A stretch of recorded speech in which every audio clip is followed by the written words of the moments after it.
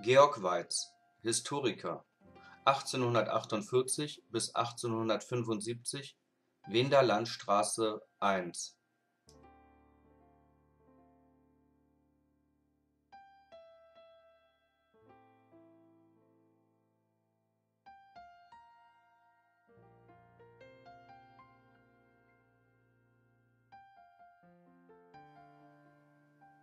Georg Waitz Georg Waitz (* am 9. Oktober 1813 in Flensburg; † 24. Mai 1886 in Berlin) war ein deutscher Rechtshistoriker und Mediävist.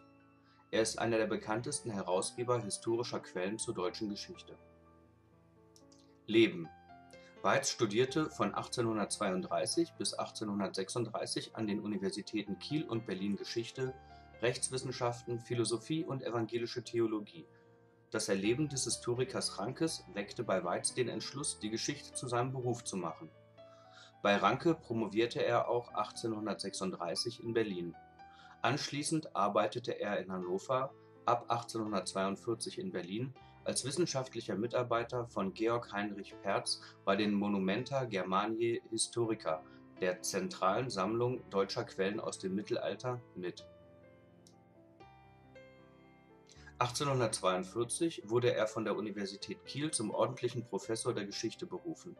Seit demselben Jahr war er mit Clara Schelling, einer Tochter des Philosophen Friedhelm Wilhelm Schelling, verheiratet.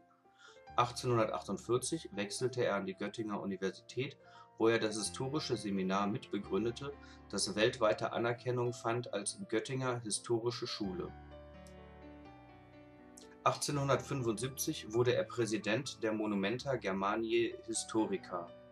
Daneben arbeitete er an Rottecks Welckerschen Staatslexikon, der Historischen Zeitschrift und der Allgemeinen Deutschen Biographie mit.